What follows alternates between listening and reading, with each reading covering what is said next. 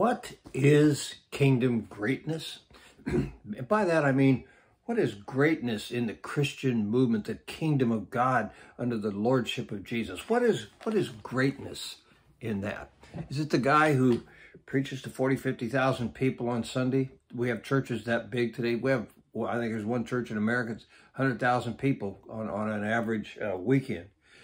It, does that make for kingdom greatness alone? Okay.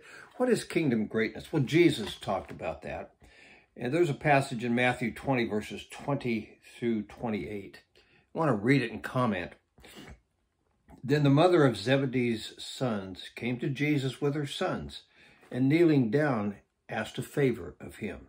What is it you want? he asked. She said, Grant that one of these two sons of mine may sit at your right and the other at your left in your kingdom. She's thinking about a political kingdom. I, I guarantee you that's what she's thinking about. And they, they thought that's what was coming, okay? They thought it was about overthrowing Rome and establishing Jesus as the king. Wrong! It's about an internal kingdom, the kingdom of God that will take on its total fruit at the day of the Lord, okay?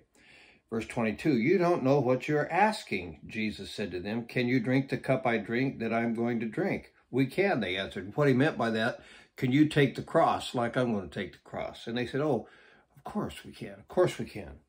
Jesus said to them, You will indeed drink from my cup, but to sit at my right or my left is not for me to grant. These places belong to those for whom they have been prepared by my Father. In other words, God the Father has the, those kind of things set in place. I don't. That's up to God the Father. When the ten heard about this, they were indignant with the two brothers. Jesus called them together and he said, in other words, they're fussing because they wanted to be the great ones, okay? We want to be the honchos. We want to be the guys that is right and is left. We want to get the recognition. So Jesus called them all together. You know that the rulers of the Gentiles lord it over them, and their high officials exercise authority over them this is not about being a big shot exercising authority, okay? It's not about being a government official or any of that stuff. Verse 26, he says, Not so with you. Instead, whoever wants to be great among you must be your servant, and whoever wants to be first must be your slave. Just as the Son of Man did not come to be served, but to serve and give his life a ransom for many. Jesus and what he did when he came to earth define kingdom greatness. What did he do? He came to serve. He came to serve us. How? By going to a cross, taking our sin in his body when he was nailed to a cross, and dying to remove our sin. That's kingdom greatness. Jesus establishes that. Kingdom greatness for us is to serve as Jesus served, to be a servant. I worked with a, a pastor when I was young. This was in start, 1975 to 78. I worked with a man named Herb Reed. And her, I got frustrated with Herb sometimes because he wasn't into preaching and building the church. He was the lead pastor. And it frustrated me sometimes. But the dude had a pastor's heart. I remember one uh, event.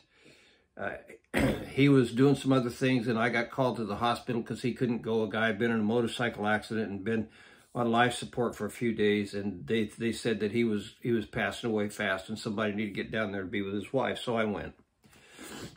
While I was there, the guy died, and what they what they said at the hospital was uh, the patient expired. That's how they say it. They told me that, and they went out and told this guy's wife. She started flailing and screaming and yelling and rolling in the floor. And I thought, what am I going to do to get her calmed down? And Herb had been working with him, okay? And Herb came walking through the door right then. And he'd been he'd been serving this woman and her husband, okay, who died from a brain injury from a motorcycle accident. He'd been sharing with them and working with them and serving them. You know what happened to that girl when he walked through the door? She stood up, fell into his arms, weeping. He cried with her. He served her, and he took care of her. I'll never forget that moment. Why? Because Herb served her. Okay? That's what we're called to do. We're called to serve people like Jesus did. We need it. That is kingdom greatness. Serving people like Jesus did is kingdom greatness. I've always tried to do that ever since I saw Herb do operate that way with that girl. Unbelievable, unbelievable compassion, unbelievable service. That's greatness in the kingdom. We all need to find it. I hope you will subscribe to my channel, give me thumbs up, make comments, and help me get this kind of thing out to more and more people.